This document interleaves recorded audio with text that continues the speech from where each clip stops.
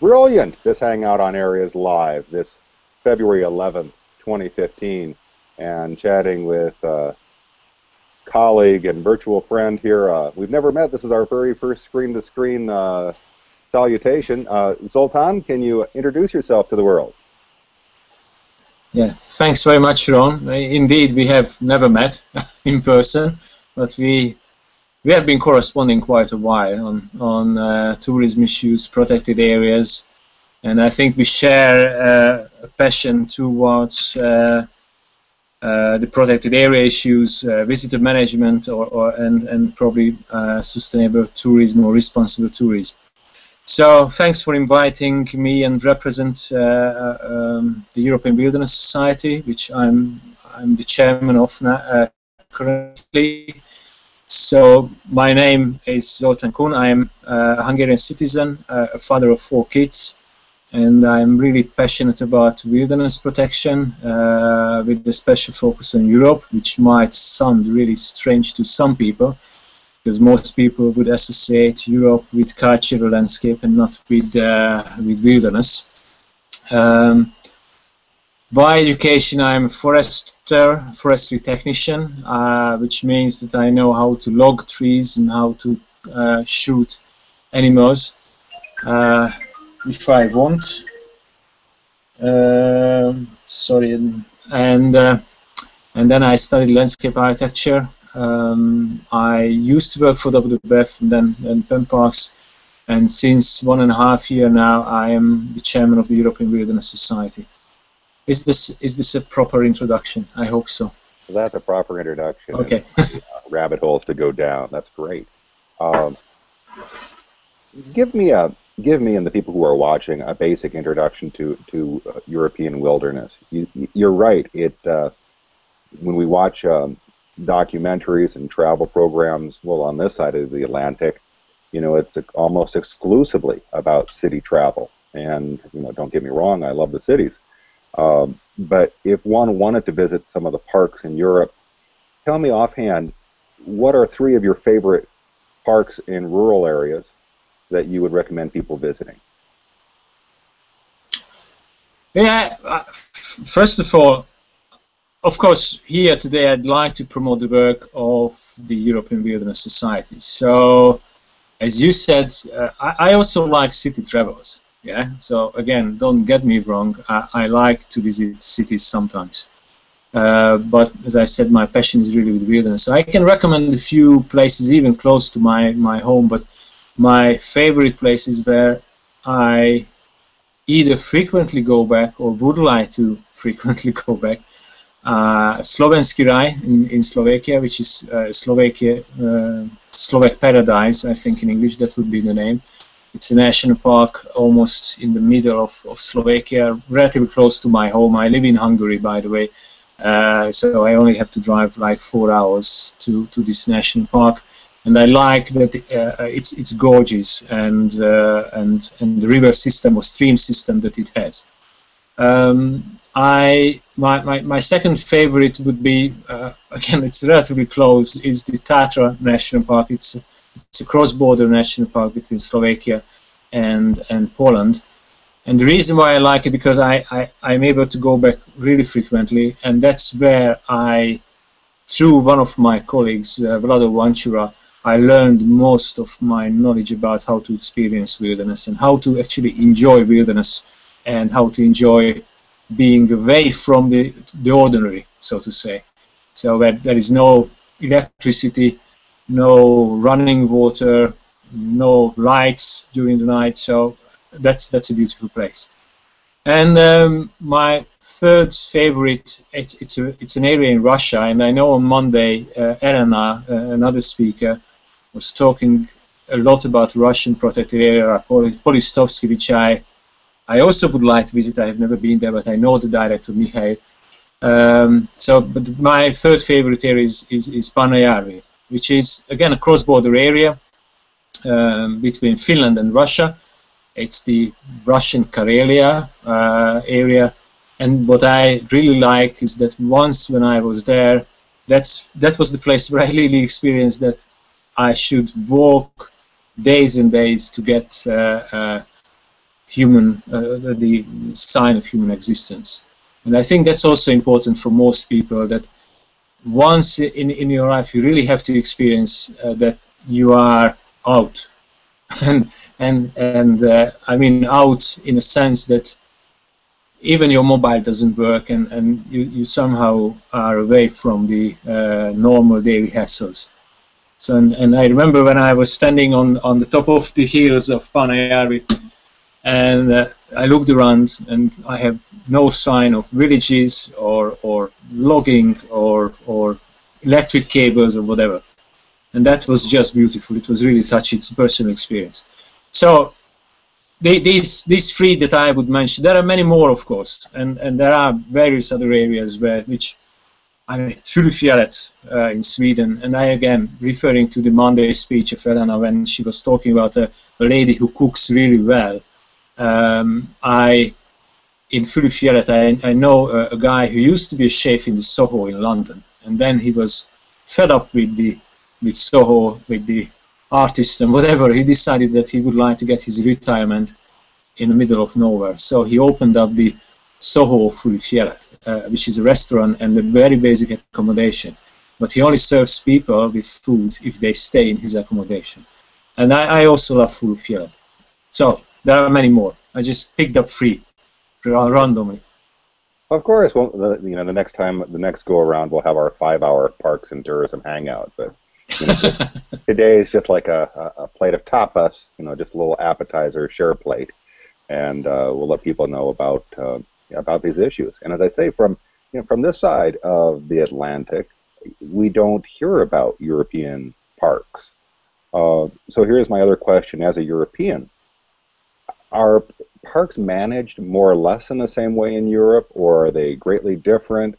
Do we see the concept of tourism in parks kind of similar across countries, or are there, you know, very um, great differences among how locals appreciate their protected areas or how people travel to parks in other countries?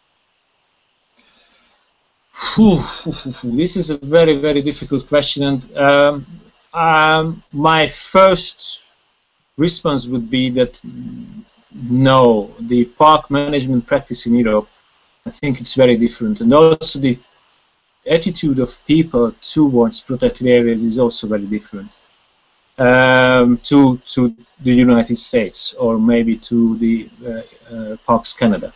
I cannot really speak, I cannot compare uh, with Mexico or uh, with, with Latin American countries, to be honest, because I've never been there. Or I mean, I was in Mexico once or twice, but not really uh, on on uh, on business trips. Um, but yeah, there are various issues here. Europe, you said Europe. I mean, Europe as such doesn't exist uh, politically. It exists geographically, of course. It's a continent, but Europe is 50 different countries, or 50 plus. You never even know how many countries we have because we are uh, we tend to re-establish uh, or establish new countries, and we are tend to separate nowadays things again. And uh, so as legislatively, uh, you cannot really say that uh, uh, the park management in the UK or park management in Hungary are the same or not even similar. The structure of area management is also very, very different, uh, which means that, of course, the management practice of visitor management is also very different uh, in, in, in, in, in the various countries. So there is not a really unified approach in Europe. Uh, and what I think you have to recognize, or the people across the water have to recognize, that the US, I think, together with Alaska, is as large as Europe. Yeah, so Canada is probably even bigger than Europe as a continent. So no, no comparison. And going to the other issue, what is the attitude of people towards protected areas? Um, Europe, the Eurobarometer, which is a kind of European uh, organization doing opinion polls of various issues, from how satisfied you are with, with the cars and how, how much you, you are concerned of biodiversity, uh, they frequently make analysis or opinion polls about the attitude of Europeans uh, or the citizens of the European member, 27 or 28 European member states, on environmental issues. And it all the we as Europeans, again, we do not exist as European, but we as Europeans uh, are really concerned of uh, of the environment, and we are we believe that biodiversity loss is a shame, and we have to do something about it. But it's like you know, we believe someone has to do something, but no one is doing anything. Or if you, if you get get the point. Uh, so you know, it reminds me of that cartoon uh, I saw on Facebook this past week, at least in Spanish, where the politician addresses the crowd and says, "Who wants change?" and everybody raises their hand. And then the politician says, "Who wants to change?" and all the hands are down. Yeah, exactly. Uh, I think you can compare a little bit, and of course there is a big difference. Uh, no, going back to so we are concerned about the loss of biodiversity, uh, but we don't really know the protected areas.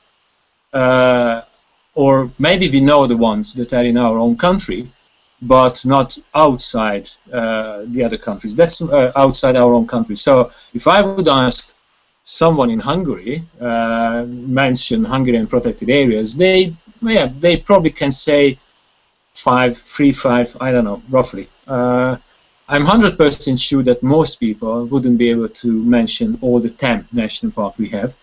And when it comes to Austria, and if I would ask, okay, mention an Austrian park, which is like, I mean, for me, Austria is closer than Budapest, uh, and uh, there are people living along the Austrian border. I, I can hardly imagine that uh, most people would say any single protected area yeah, of Austria. And that's why that's when it comes. Are we European? Are we living in Europe uh, legally uh, or uh, legislatively? No, not really uh, we live in our own small or bigger country, depends on which country you live. So we are concerned of the biodiversity, but we don't really have a clue where this biodiversity is, where it's protected. And I had a friend, a colleague from the Netherlands, who said, if we don't know something, then we will not love it. If we don't love it, then we will not care of it. So it's it's that that issue that I think it's the biggest problem of protected areas currently in Europe they are unknown and therefore people don't really care. So if a politician decides, politicians tend to like opening up, designating new protected areas because that's, you know, I checked something on the paper, I established a new park, hooray. But when it comes, did you provide enough funding to manage it? Did you provide enough funding to protect it or preserve its value? Then no action is taken. And of course, the people are not really concerned because they don't know the areas. So that's, uh, and and I will finish talking. Sorry if I speak too much, but um, I haven't even drunk yet. But you know, I have my I have my small pálinka here, but I haven't drunk yet. Um, so that, and I would like to make now a link to the the whole issue of responsible tourism or responsible travel, because that's all about the week that you arranged. Oh, wait a uh, second. Wait a second. We're, we're, okay. I'd rather not chat about that yet until you do cheers me. and tell, uh, please go ahead. You, are you're, you're certainly not going to get tipsy on that. Okay, cheers. Cheers. I will take my pálinka. that's called that's called pálinka. Pálinka, yeah, it's a kind of schnapps, or uh, you know, you would drink whiskey in uh, Scotland or Ireland. We drink pálinka here in Hungary. Uh, made out of food. You know, you have to recognize that there is nine-hour difference between you and me. So uh, it's I'm off working hours. I usually don't don't drink in working hours, and uh, what I mean, the way how I understand hangouts, that we are sitting in a bar, we are hanging out, and we are chatting. Is that the? That is I hope perfect, that's the right. That's a perfect analogy, and why the? Okay, okay.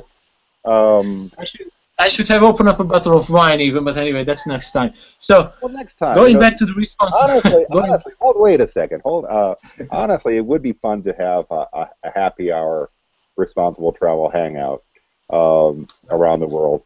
Um, but you know, my my thinking is, you know, when we created Responsible Travel Week now seven years ago, the whole idea was to make this a little bit more lively, a little bit more fun, and as well as really to connect to literally food and drink because you know far you know I don't know how many boring conferences you've been to, but you know I've been to far too many. And honestly, the more stimulating dialogue often occurs, you know, at the uh, at the uh, during the coffee hour, during the coffee break. It's what uh, Harrison Owen found out when he was creating open space technology. You know, could we get people to be comfortable and then to discuss some of these issues? So if your conference is, you know, 50 minute boring chats with people reading at one another, followed by 10 or 15 minutes of engaged conversation while drinking coffee and eating biscuits, or over at the bar having a having a beer, then well, why wouldn't we head over to the bar? So you know, cheers. Uh, one, I would like you to touch upon responsible travel, and my big question is this: outside of the, your work colleagues, does anyone in Hungary talk about responsible travel? Uh, I don't know. I, I, I, yeah, I know a few people uh, who are concerned, but uh, maybe I, used to have a colleague again when I worked at uh, Worldwide Fund for Nature, uh, who was in charge of fundraising. He, she then became uh, a regional manager of tourist promotion of one of the region in Hungary and she was now trying for 15 years to set up a kind of criteria for system, criteria system for checking uh, quality of uh, rural accommodations, and uh, her success was zero. so, but uh, she's really the, the, the, one of the few people who talks about this issue. Yeah, at least publicly. There are two or three uh, tourist companies in Hungary that um, really, I would say, successful in uh, in arranging, uh, let's say, nature-based travels or sustainable travel, but um, they are more. I suppose they are more busy with running the business efficiently, and this kind of more theoretical discussion how to put theory into practice is, is not really happening in Hungary, at least not as far as I know. How would you translate yeah. Responsible Travel Week in Hungarian? Felelős turizmus hét. Is there a difference uh, between travel and tourism? Would you say tourismus? Uh, uh, yeah, I mean travel means uh, literally. I think it means utazás. So the travel, at least again, I am not uh, an English translator. So if there is a, someone who is really good in Hungarian and English, I, I hope they apologize to me. But my interpretation is that travel is actually when you leave point A and you arrive to point B. So it, it's at least that's the Hungarian kind of way how I, I would understand it. And tourism is a much bigger word uh, uh and has a much bigger meaning to me. So if I would, I mean, responsible travel in a sense, it's a very strange wording. And yeah, I have to correct myself. The proper translation would be felelős utazás hét. And, and again, uh, travel is not, it doesn't mean tourism. Tourism is bigger. Right, yeah? exactly. Travel does not mean tourism. It's one of my one of my friends from Oaxaca, from Teotitlán de Valle, Hugo Santiago you know, as often said, you know, you, you don't have tourists, you have visitors. And because there there's a translation in Zapotec for visitor, but there's no word for tourist, and there's no word for tourism. So if you want to explain this locally, you have to, you know, be much more careful about your language. Whereas again, our academic or our policy-oriented discussion has, um, you know, a very good understanding of tourism but we don't know how to actually explain it to the visitors. Uh, I, think again, if I translate these two words, the visitor and the tourist, uh, there are two different words, and I think again that's only my personal connotation, and I'm not a ling linguistic expert, but uh, I would I would say that a tourist is certainly a person who would come to an area, visit it, and then leave it while a visitor might be even a friend. A visitor would be someone who comes and leaves as well, but uh, I, I, would say that it's a much more friendly word. Uh, yeah, if I, I, I, don't know whether I, I think we're, we're on the same page here. And so, and if I wanted to visit Hungary, and let's just say that I had one day to visit Hungary, what you what are you going to promote? Uh, whereas if I said, all right, let, give me a week in Hungary, where are the places that I would visit, and who are the people I would visit? I think we can, you know, that to me is responsible travel, is the basis of it. You know, if we can slow down and really encounter the place and the people. Do you want me to give recommendations now? Yeah, give me a give me give me. I mean, just spitball it. What's a one week? What would you What would you suggest? I'm, you know, of, of course, I'm kind of biased of the region of where I live, and, and personally, I'm more a mountain man or a man who likes hills or hilly areas than than flatlands. I'm also not a bird watcher, so I, I know that a lot of people would come to Hungary. They would come for the puszta, you know, the open, uh, uh, great Hungarian plain, and maybe to see birds there, like the great bustard or I don't know, crane migra migration and that kind of stuff my recommendation would be slightly different. Uh, if you come for a day, again, if you would visit me as a visitor and not as a tourist, again, remember that's a friendly word. then you. you would not you would not go to Budapest. I would so say, okay, come to Győr, uh, the town where I live, and then I will show you Győr, uh, which has a baroque downtown area, then I would take you uh, to Pannonhalma, which is about 20 minutes drive from my home, uh, which is a World Heritage Site. They have a nice uh, wine, uh, how do you call it, a vineyard and uh, winery. You can do a little bit of walk in a more natural area. It's a landscape protected area. So in, in one day I would show you the maybe lunch there and then take you to Pannonhalma where we would have a, uh, tasting of wine and show in, in the forest to look around the landscape a little bit and then I will put you back to the train. And say goodbye. And come come by train. come by train. so we're able to combine vineyards and parks in Hungary. Vineyards and parks. Yeah uh, uh, you all have to remember that Hungary is a beautiful country yeah, uh, and I, again, I love Hungary. I, lo I mean, it's it's a country which has probably I would I, I always argue that the best location. It's relatively flat, so we uh, we don't have severe weather conditions. The soil is really good for agriculture purposes. We have good vineyards. We have nine traditional wine area, um, and uh, if you are at the right place, you can get friendly people as well. uh, so parks and wine. That's the Balaton upland area, uh, which is uh, you don't. I don't know whether you know we have a large lake called Balaton, and the northern part of the lake is is a hilly area, which is a special wine area. They have small wine regions even even of the one big big region. Where and then you can do walking, you can uh, explore a geopark. Uh, if it's summer, you can swim in in the lake. Uh, you can drink wine it's a perfect place. That's that's where we always go on Whit Mondays for a long weekend with the family and friends. Beautiful. It's obvious you you love Hungary, and uh, again, I think that's a better promotion than most uh, tourism videos. Uh, a shout out to Susan who um, who is uh, watching online, letting us know that, and she's figured out how to use some of these, the social media. So thank you to our viewers.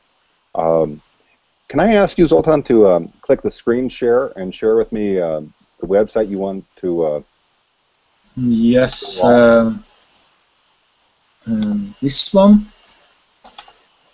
Yeah, I wanted to show some. Do you see it now? Not yet. Not click, yet. Uh, share. There. Oh yeah. Um, okay. Share. And uh, yeah, that's my face. And that's the website. Yeah. All right. So this is the European Wilderness Society obviously. Uh, as I said, I'm here not to promote Hungary or not to promote myself, obviously, but I, I, try to promote Europe's wilderness and the Wilderness Society. So basically, that's the website of the organization, and and uh, I was about to get to making a link between the fact that most European protected area is unknown and uh, how tourists can help. I really believe that one way to improve the protection of protect uh, uh, or preservation of protected area is to show it them to people and, and let them enjoy, let them experience Europe's wilderness areas and uh, Europe's nature. So this is not uh, tourism is not really the central element of our organization. What we are trying to do with the society by uh, designate, manage, and promote Europe's wilderness areas. Uh, One second, can you take us a tour on a tour of the website? What what would a, a, a traveler look at at this site to find out some of these tips? Yeah, uh, we have, uh, of course, we have uh, lots of different news. So you can you can get uh, maybe search here uh, for the word tourism or travel or whatever, and then it it will take you to the uh, interesting site. But if you check it out on the top, there are the wilderness areas, and then there is a European map, and we are yeah. I don't know whether you will see it on the website currently it says there is a wrong message, but th there should be a map here. Yeah, okay. Certified wilderness areas. Uh, uh, then my computer is somewhat slow, but there will be uh, small dots at the different places. Uh, potential wilderness areas where maybe restoration activities has to has to be done. And remember that now my computer works very slow, but normally there should be dots at the different uh, uh, sites. Yeah. Okay. And what we also do. One second, one second. Let me ask you this other mm -hmm. question. Scroll down a little bit. You also have a Twitter account. Yes. And yes. Well, I mean, social media. Social media. Uh, we are going to different places. What with the society we do. Uh, again, remember that we started this website uh, only 14, 14, 15 months ago and we have passed 100,000 visitors uh, a few weeks ago. We got roughly 300, 350 people now uh, a day. So we have a really effective communication team behind. I mean, I am just like a, a, person who is put in, in now behind the computer to speak about the society, but we have a very, very strong communication team who are doing a great job on, on, on you know, doing publications. Like recently we, we came out with a magazine which is designed for kids about uh, the large carnivores of Europe, the brown bear, uh, lynx, and the and, and, the wolf, and and that's again a, a really important. And this magazine was outstandingly welcomed by by the people. Yeah, and as per uh, the social media is concerned, we have a Twitter account, uh, EU Wilderness. Uh, we, that's the after at EU Wilderness and then we have a Facebook account, uh, and we have a LinkedIn group. Uh, the LinkedIn is more for professionals, of course. Uh, on Facebook, we are more promoting nice pictures as well, and, and, and news items too. And apart from our website, uh, there are two more websites that we are managing. One is called Wilderness Academy. This is what you have you can see now on, on the screen uh, wilderness.academy. Uh, I just love even the title of the uh, or, uh, or, the domain name because it says everything about the purpose. We are trying to have a, a training opportunity for uh, people who are interested in wilderness protection. And we had the first event last year uh, in Mittersill in Austria. The next one is going to be either in Romania or again in Austria, like an annual event. Uh, it's, it's just brilliant. And then we have another website, which I, I, maybe my colleagues will hate to mention this now, but uh, it's wilderness-travel.org. Uh, so that's that's a travel website, but to be honest, we are not promoting it now really effectively because because we are trying to focus on, on, on, on other issues within within our work. But that's once we give uh, uh, a little bit more promotion, that website will be source of information for visitors. Yeah? Beautiful. Well done. What, what great. Let me ask you this. How many members does the society have? uh, that's a, I, I, I don't know. Uh, we have, uh, as I said, we have about 4,000, 3,500 people who are receiving our uh, newsletter every two weeks. Then we have uh, a Flick, uh, how do you call it, Flip Flipboard uh, account, which is followed by about 200 people. Uh, how many people pay the membership fee? I I, to be honest, I don't know. I, I am not updated many, with the figure. How many people are actively working with you uh, to develop? We have we have 12 people. If I yeah uh, yeah we have 12 people, um, and again, it's I'm just now someone who talks about on behalf of these 11 people, of course. But we and the good I, I just love the team as well because the people who are around the society and who work now with me, they are all really senior. They are in, in their position, in their knowledge, and the way how they act. We have a person, and, and we are international. That's that's another important aspect. We have a lady who is uh, a German living in France. We have a lady who's American living in Madrid. Then we have a Slovakian colleague. We have uh, uh, German uh, colleagues living in Austria. We have Austrian colleagues living in Austria, and then a Hungarian living in Hungary. Uh, so it's it's just beautiful, and we have even an Australian uh, uh, colleague who is now on kind of leave because he just got a, a, a new boy and he wanted to enjoy uh, uh, the the kid for for a while. So, but he's an Australian. He used to work for Wilderness Society in Australia. He now lives in Vienna. I mean, can you imagine uh, how good and and how to say it interactive culturally this team could be from four, three different continents, uh, all concerned of one issue. It's it's beautiful. Hey, let me ask you a, a, favor. Can you click the window, the tab you have open for Twitter notifications? Yes. And, and then That's... here, when, uh, can you click where it says RT, the hashtag RT Week 15? And again, Zoltan, many it's great to meet you, and, and many thanks for participating in Responsible Travel Week. Um, today, it has just gone gangbusters. Um, so I don't know if you're paying attention to this, but there are so many wonderful examples around the world of uh, people doing good things and uh, taking on some fairly provocative topics as well. So, you know, thank you for contributing to this dialogue.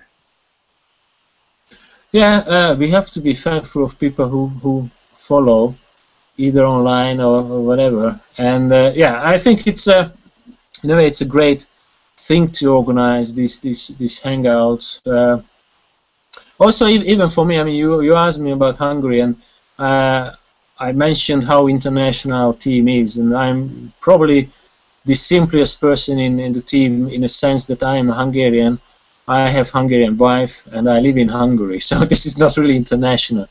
Uh, in a way, uh, that's one of the reasons why I love to attend in meetings like like even this because it allows me to to talk to uh, other people from other country. It, it, allows me to promote a little bit Hungary as well, and I hope that uh, whatever bad uh, image Hungary might have nowadays in, in, in the globe, uh, that's that's only an image and not not really true. So hey, uh, I, I, I, enjoy it.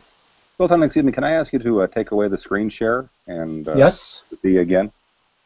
Um, no, I think that's uh, that to me is one of the wonderful things about these hangouts is that we can you know see what's happening across the across the ocean and uh, see what other people are doing.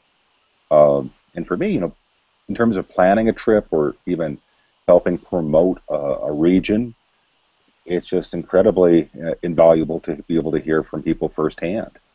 Um, one of the things that I've been developing, and you may have seen it, is a Google Doc, uh, and it features all of the social media channels for uh, official park websites. And in the past couple of years, the United States has taken a great lead that you know the Grand Canyon, for example, has a Twitter account, has a Facebook has a Facebook page. Same with Zion. Um, are we seeing European parks use Facebook or use Twitter directly? Uh, yeah, I came across with quite a few parks on Facebook. Yes, uh, I would say uh, Twitter. I don't know, uh, I, and I'm not hundred percent sure. I, I don't think they really use Twitter, but Facebook, yes, uh, I have seen Austrian, uh, Swiss parks, uh, Slovenian, uh, some Hungarian parks. So I think I think that's that's that's increasing, yeah, um, and it goes especially for uh, for sharing, you know, pictures or whatever events probably. But um, I know that in the US, I mean, you even mentioned, I think on Monday, Instagram. Uh, there is Flickr, there is uh, Pinterest, and whatever. There are so many tools and social media platforms that you can easily get lost. And the reason why uh, with our society we decided to focus on this free because we didn't want to lose for uh, attention. Yeah, I mean the management of social media sites could really uh, occupy a single person for a whole day, to be honest. Yeah, uh, because even the various social media platforms are very useful inform, uh, information source. I love to get, uh, for instance, research news through Facebook. There is a, a Society for Conservation Biology, and they have really good uh, uh, news items on research news. Uh, so, I, I, just what I wanted to say: if if a protected area decide that okay, we are going to become active on on the social media platform or more, they, ha they have to remain focused. Yeah. Oh, I agree. And, I agree completely. And again, the only request I'll make of you is, uh, in the near future, is to post any specific links or you can share uh, the, the, the Facebook group or page on our RT Week event page. But I would like to create kind of an, a global index of what parks are where on the social web. And you know, you don't have to be everywhere, but where you are, you have to be you know fully aware and conscious and figuring out how it works for you. Um, uh, here's another quick question for you. Did you go to the World Parks Congress? No. No, no, no, no. But uh, one of my colleagues, uh, Catherine, uh, she was she was in Sydney. She was in Sydney, and uh, yeah, she came back really enthusiastically. She said it was a great event, uh, but yeah, you know, we are in this sense still a small organization. We didn't manage to send uh, more than one person. But I don't know. have you been there? No, I certainly I didn't. I couldn't afford it in terms of time or money. Yeah, yeah. Which is why which is why I encouraged them to do as much as they did uh, online in real time. At least we could, at least we could participate and watch a little bit. Yeah, you know that actually in Europe, um, because Sydney was kind of far away for a lot of European, uh, and uh, to be honest, I don't really know how many Europeans attended the World Parks Congress, but there will be a follow-up event, uh, which is called the Little Sydney, uh, close to my home in Hainburg in Austria, uh, in the Donau National Park. And our society again we, we were fortunate enough to get an invitation to take part in the organizing committee.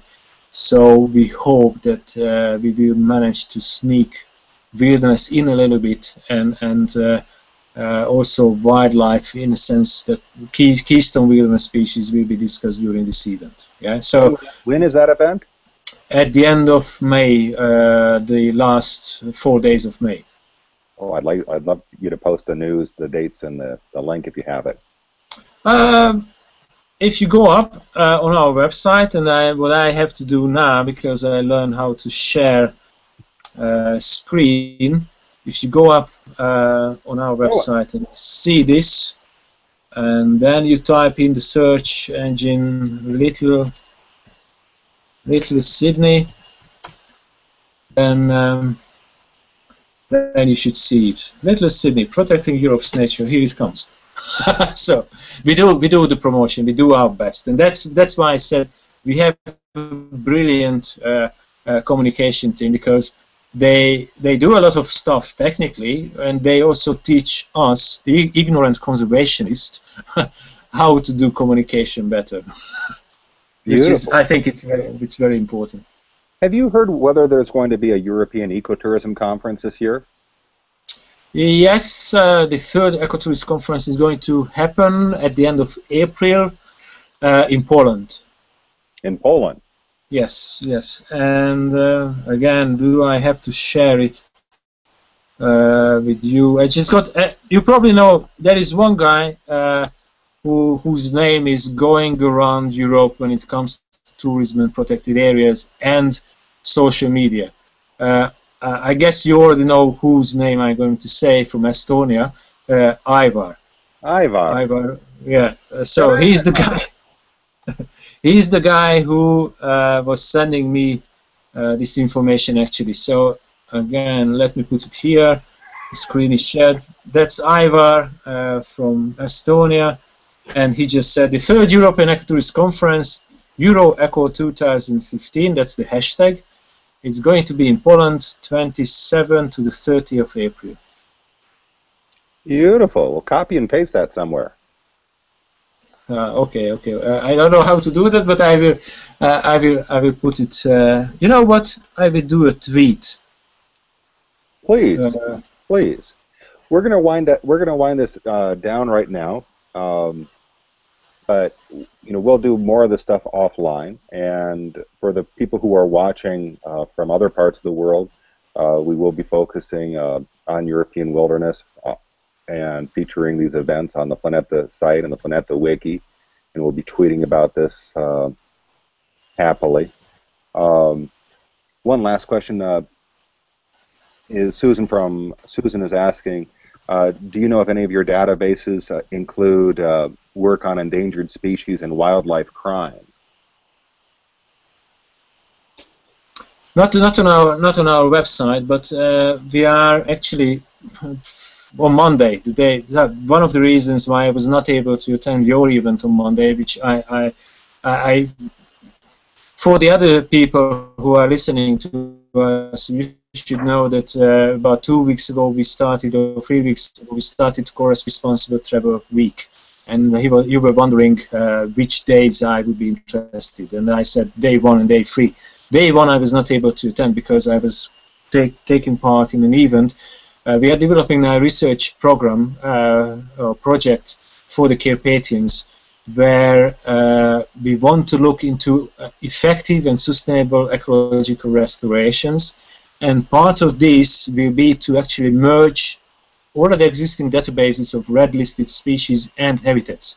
And this information of, in Europe is of course more or less available. I mean Europe is a relatively civilized and well-researched continent so to say uh, so, for instance, in the Carpathian, there is a special list. Uh, there was a project called Bioregio project, and uh, they created a list of uh, red uh, red listed species and habitats. I also heard from one guy that the, the same list exists for the Pyrenees. Um, the the problem is how you can get these databases together. We are, for instance, now working on setting up a searchable database of wilderness areas of Europe that will be accessible on our website. There is a database, but it's hidden somewhere uh, on, on a site. And what we are going to do, we are make it, we are going to promote it and make it more searchable than it is now. Yeah. Beautiful, beautiful. Well, as I say, uh, beautiful. Hope that answers your question there, Susan. And uh, you know what what uh, I would stress to you uh, is that you know if we can copy those links and figure out where to paste them, uh, we can in, we can change the information from being kind of sheltered in a silo to being much more of an open access type of environment. You know, I'm getting also old, so I have to apologize, but uh, nowadays I can only concentrate on one thing, do, doing one thing. Now I'm doing the speech, and occasionally I do one or two tweets, but uh, I cannot do copy paste now. I'm, I'm getting too old. Yeah. Uh, I'll show you, I'll show you how to do it, and uh, I'll show you where you can put it on the Planeta wiki. At least. Uh, yeah, yeah, yeah, yeah. Okay, okay. We can make sure that, that, that that's a good hub for information. It's the only one, no, but uh, I'll help you out there. As, uh, oh yeah, yeah. Actually, actually, we have we have Planeta wiki. Uh, yeah, we are right. Okay. And we'll, you know, now that you got this hangout under your belt, you we'll, we'll, we'll chat this through and we'll figure out what to do with it. Uh, okay, we're going to wind the chat down now. And uh, Zoltan, I'd ask you to stay online after we finish the broadcast. Uh, but is there anything you'd like to say publicly um, to the people who are watching this about Responsible Travel Week? Any final comments? Um, experience wilderness in a very short way and become a supporter of wilderness conservation. Whether you are in the US or I mean across the ocean or in Australia or in Europe, but that's the two things: experience in wilderness, and then became a supporter of wilderness protection. I think that's the that's the final word, and that includes a little bit of traveling, of course. Otherwise, you cannot experience it. Well said. Well said. Well, thank you very much for your time, everybody, for watching. Thanks for watching, and thanks for your questions. And check us out tomorrow. We will be doing our hangout on day four of Responsible Travel Week. And cheers.